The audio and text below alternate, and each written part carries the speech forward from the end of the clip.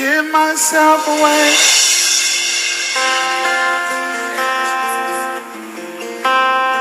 I give myself away so you can use me.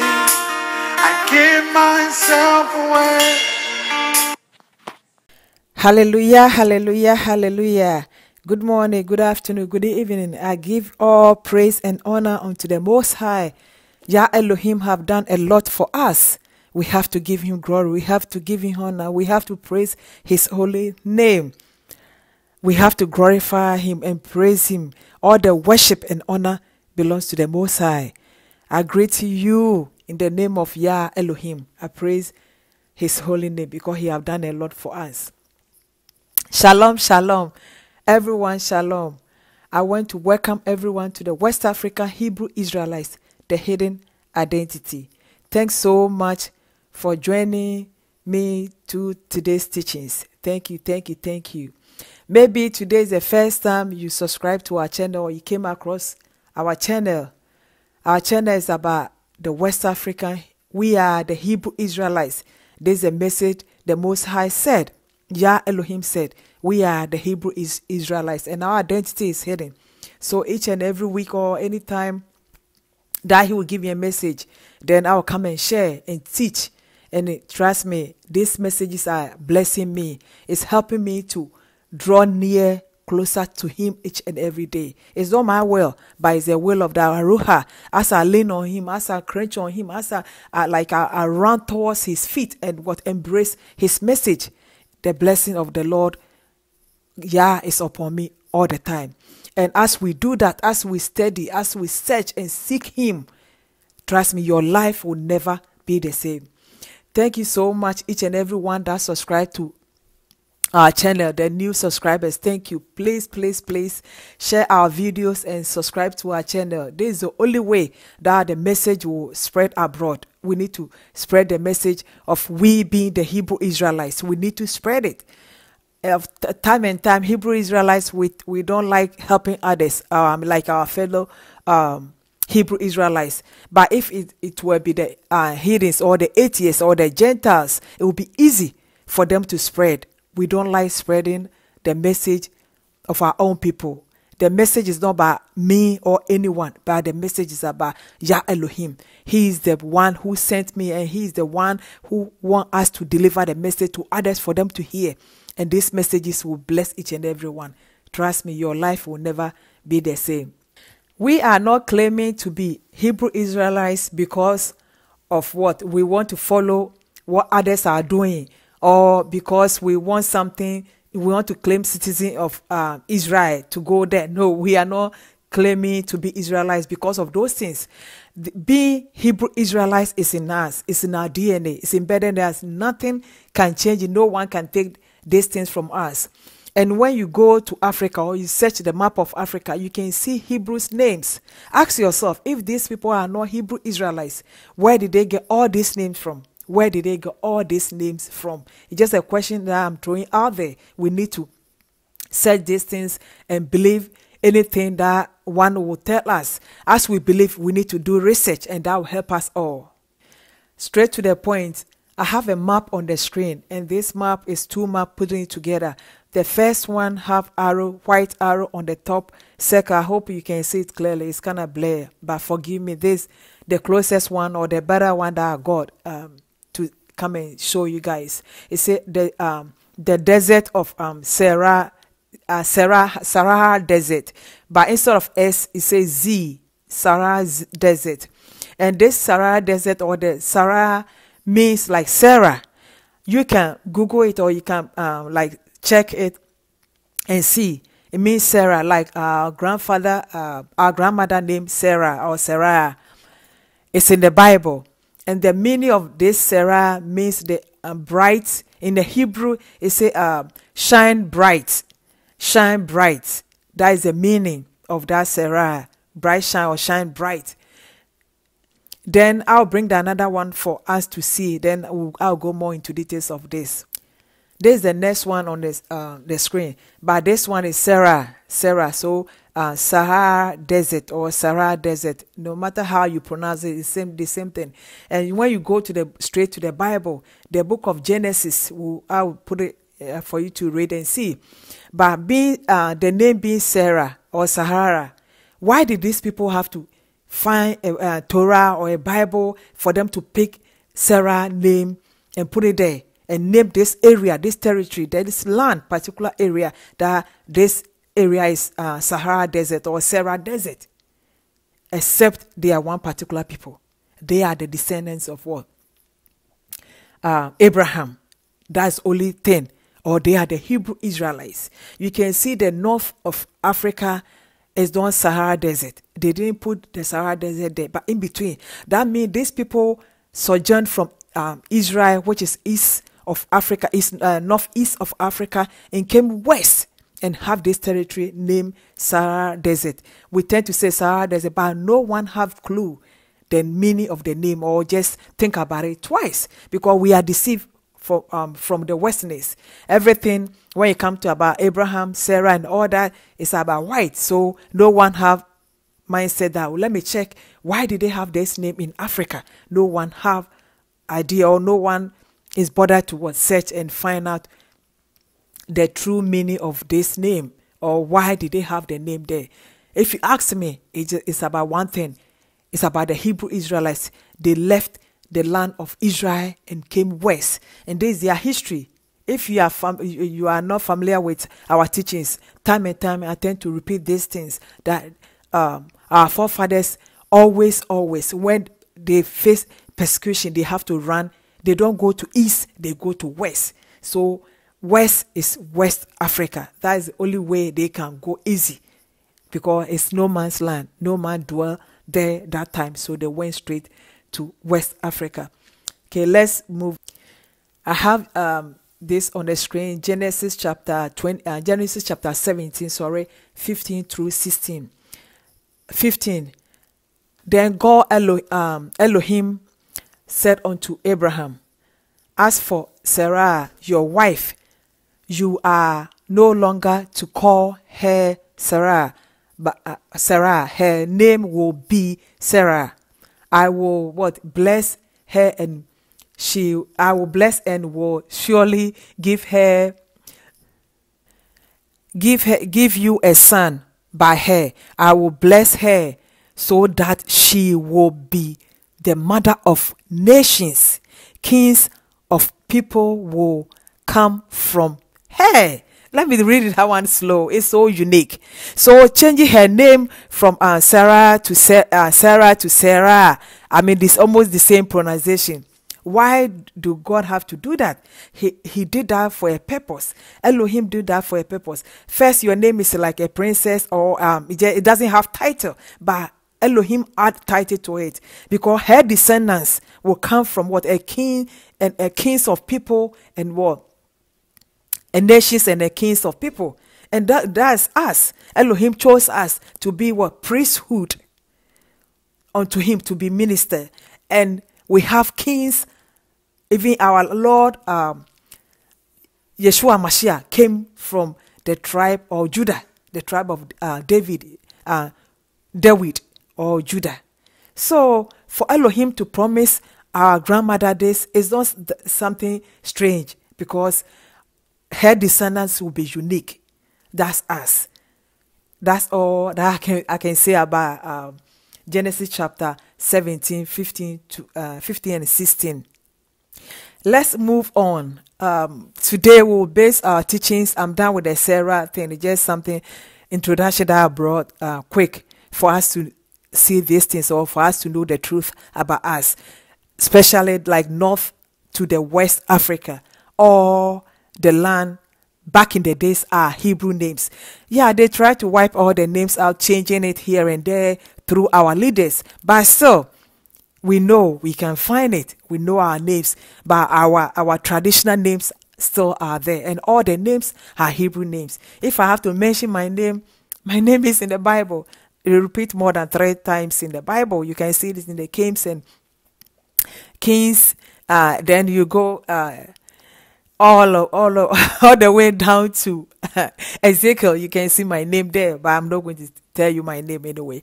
Just by the way. Okay, so straight we'll go. Our teachings will base on um, Senegal, Senegal, Senegal, Senegal in West Africa, Senegal. So let me put a map there first. Then I'll talk about Senegal. I have a map of Senegal on the screen right now. Senegal and the capital is Dakar. So I'll leave the Dakar, then I'll go um, the circle, uh, blue circle with the arrow, uh, Matam. Matam. I hope I'm pronouncing it right. Matam.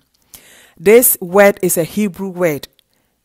It's a Hebrew name, whether it's a meat or food, it's a Hebrew word. So I want to bring this across. There's a whole lot of Hebrew names in like Africa, West Africa, Senegal, a whole lot. But I brought only these two for now.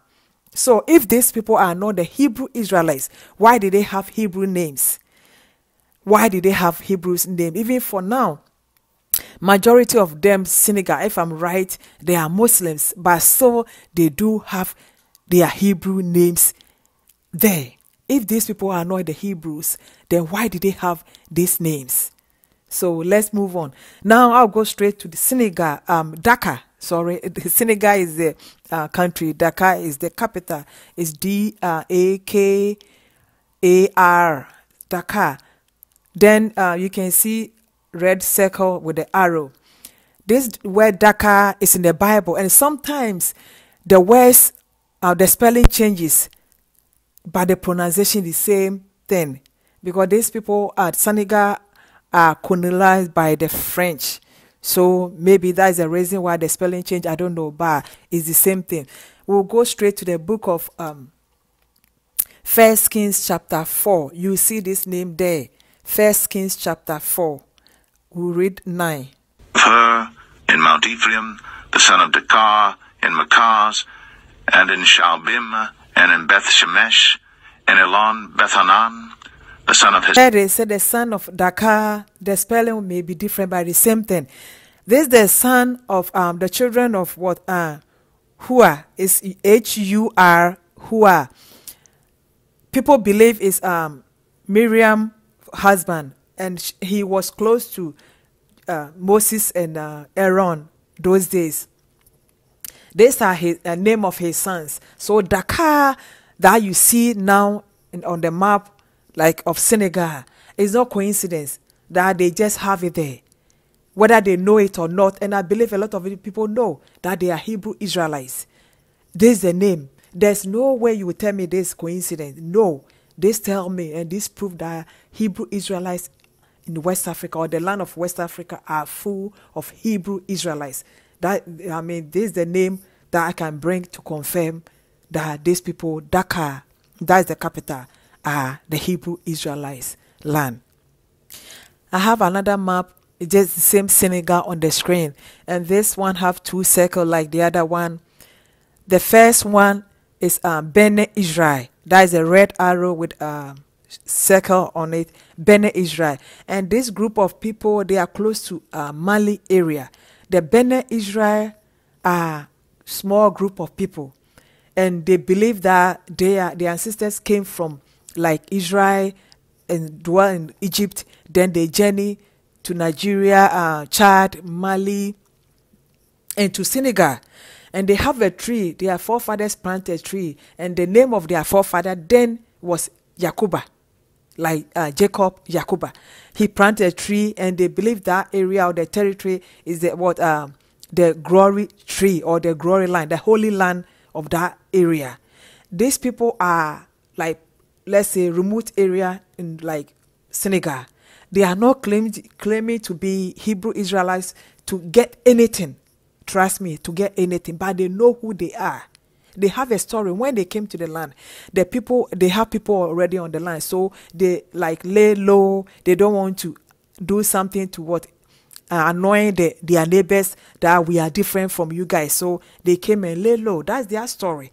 Bene Israel, and they kept the name to this day. I'll show you their pictures. And I have another one. Is a Jola. Jola. Jola is a, a, a tribe of people, a, a, language or the people in this uh, They are close to um, Gambia, uh, Gambia area, then um, Gabon or something area. You can see on the screen Gambia. And the word Jola is a Hebrew name. It's a Hebrew girl, like naming of girl. And when you go into details of the meaning of that Jola is like Jehovah. So it's Yahweh name, Jehovah. If these people are not Hebrew Israelites, trust me, there's no way they have these names. Africans or West Africans does not joke with their names. They don't joke with their names. None will trade their name for anything. You can call them poor, you can call them any ugly name that out there. They don't care. They do not joke with their name. And naming is something that they pass on.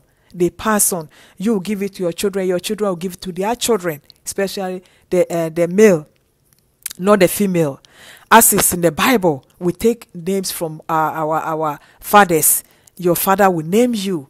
Then when you marry, have your husband, the, the boys or the men have their father's name and they pass on. So these people are Hebrew Israelites. So one of the tribe or one of the people that they are in Senegal that you can see uh, the Bene Israel um, like sons of Israel. That's the meaning, sons of Israel. They carry the name. So, sons of Israel, it doesn't mean they are like um, the descendants of Judah or the descendants of uh, Reuben or Gad, sons of Israel. So, they are more than one tribe. I believe that's the, the reason why they have the sons of Israel there, the Bene Israel. I have the picture of their screen. You can see the village or the town people. These people, the sons of Israel, you can see them like uh, I don't know whether it's market day or trading day. I don't know what is going on, but this is the picture that I have to show that these people are the Hebrew Israelites.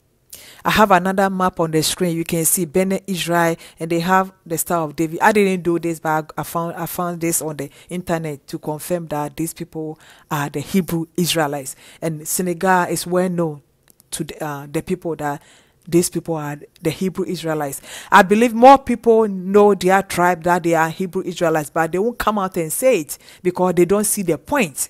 But the point of Yah Elohim giving me the opportunity to share these messages, we have to come out from our closet and we have to come out what embrace Yeshua Mashiach as our Lord and personal Savior. Very soon Yeshua is coming. The trumpet will sound. Sound. Ask yourself, are you going to go with him or not? there is the one of the village. I think I don't know whether they are they are uh, on the screen, whether the the gate of the village or something. It's French. I can't read the French, but I can see D Bene Israel. That one on the bottom, I can read it. Saint uh, de Bene Israel. So the rest, I, am not good at the French, so I'll leave it. I see the glory. Uh, I think glory, uh, something Saint, uh, whatever, but I will leave it there. So there's, I think, chief or the president of the village or something, and they have the tree there. I'm not sure there's the tree they talk about, but there's a little um, history that I can talk about them. So they are unique people, Hebrew Israelites on West Africa, the coast of West Africa, Senegal. Oh, wow, and here to uh, to make the video short, just short thing, uh, video that I brought. I pray that this will enlighten you and it will bring the knowledge to you. You can search, you can do your own research. That help a lot. Do your own research. Yeshua give me opportunity for me to come and share these messages. For one thing, as to what embrace him, receive him as your Lord and personal Savior. You will be the Hebrew Israelites worshiping um, Yah Elohim, accepting Yeshua is not a wrong thing. Yeshua is a Hebrew Israelite, so he is the only door that we have to go through. We have to seek Him first. Seek Him first, and all other things shall be added unto you. I am so grateful for everyone that watches my video and subscribe to my channel. Thank you so much for sharing the videos. May Yah- Yahweh bless you and keep you in Yeshua's name. Shalom. And remember, the Lord Elohim have a covenant with us. We are covenant people the Lord Elohim have a covenant with us. The covenant, the covenant is about us, and we have to keep that covenant keep the Sabbath, read the Torah, keep the Ten Commandments, do everything that uh, Yah Elohim command our forefathers to do. Do it, and you will see the blessing of Elohim in your life. Shalom, everyone.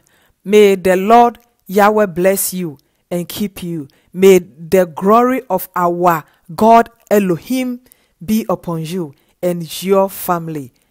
Amen. Bye bye.